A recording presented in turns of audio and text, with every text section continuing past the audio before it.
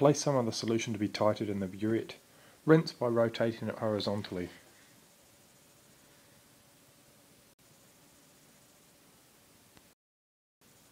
Use a pipette filler to suck up the solution in the pipette above the etch line on the neck of the pipette. Release some of the solution so the bottom of the meniscus sits just above the etch line. Transfer the solution in the pipette into a conical flask that has been rinsed with water.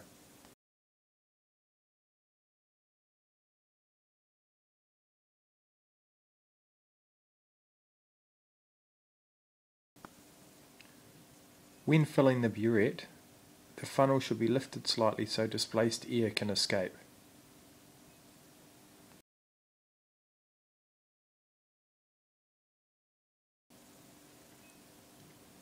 A leaky burette can be fixed by adjusting the clamp.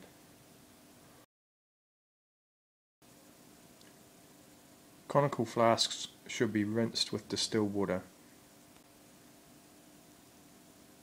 The initial reading on a burette should never start at zero.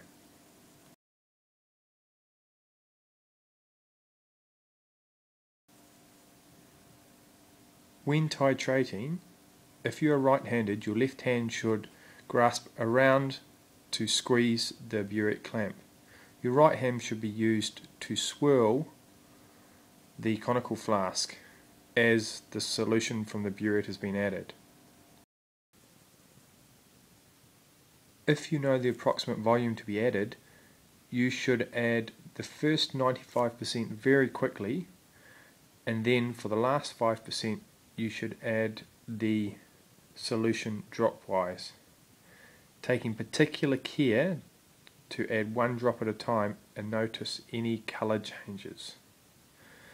As soon as the colour changes, in this case it will go a faint pink, you stop adding the drops from the burette.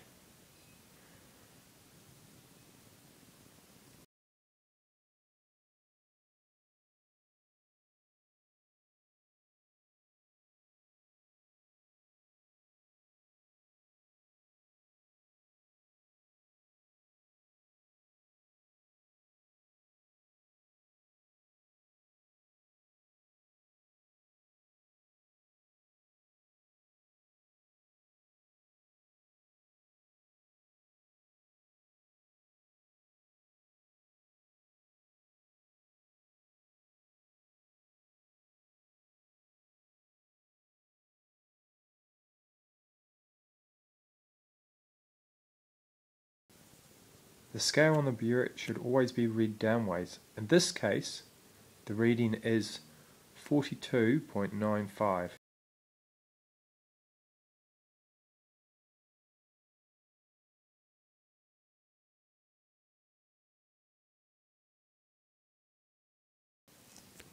Occasionally, the bottom of the burette may have a bubble in it.